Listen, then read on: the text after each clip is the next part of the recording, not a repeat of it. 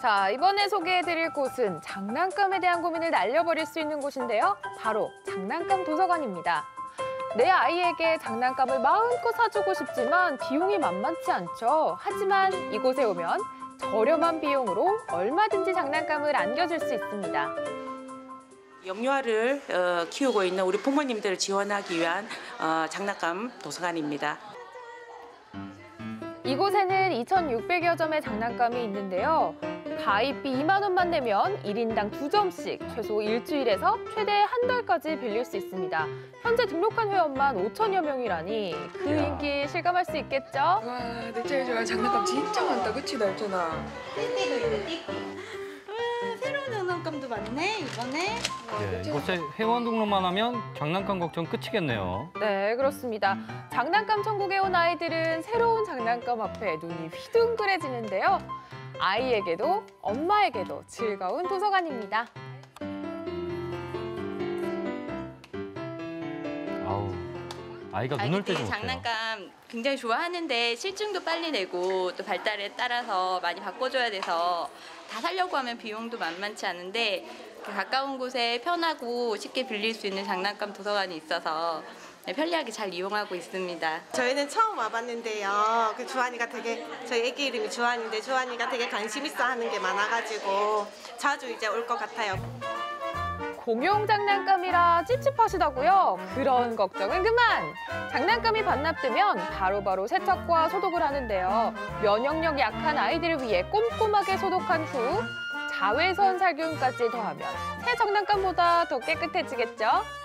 아기들이 쓰는 장난감이니까 아무래도 위생이 제일 먼저죠. 아기들이 장난감을 입에 물고 빨기도 하니까 저희가 반납되면 바로 즉시 소독을 철저히 하고 다시 대회를 나갈 수 있도록 합니다. 그리고 이곳엔 장난감뿐만 아니라 만천여 권의 책도 함께 있는데요. 구연동화 프로그램도 있어 아이들에게 책에 대한 호기심과 흥미를 심어주고 있습니다. 오리는 시무룩한 얼굴로 앉아있는 염소에게 물었어. 염소야, 뭐가 그렇게 걱정이야?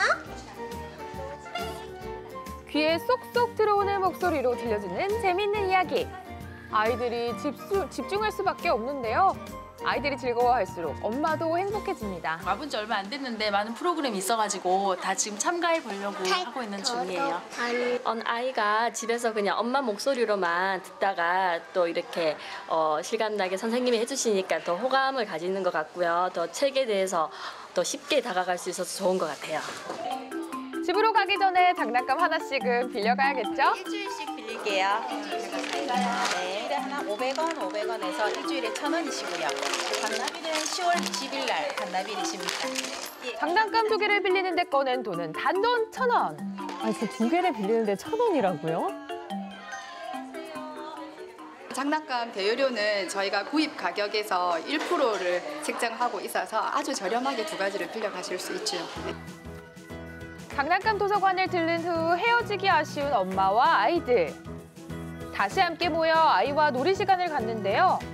엄마들은 이렇게 비슷한 또래의 아기들과 함께하는 시간을 만들어 아이들의 유대감과 사회성도 키워준답니다. 친구 집 가서 하나씩만 빌려도 장난감 세 개잖아요 그럼 한꺼번에 세 가지 새로운 장난감 가지고 노니까 아이도 더 재밌어하고 서로 또 나눠보기도 하고 양보하기도 하는 그런 협동심도 기를 수 있어서 더 좋은 것 같습니다. 현명한 엄마들의 똑똑한 육아 화이팅! 언제나 육아 정보에 귀 기울이며 발로 뛰는 요즘 엄마들.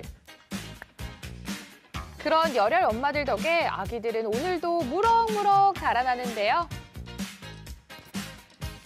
우리의 미래인 아이를 바르고 건강하게 키우기 위한 엄마들의 뜨거운 열정과 노력. 생생투데이도 응원하겠습니다.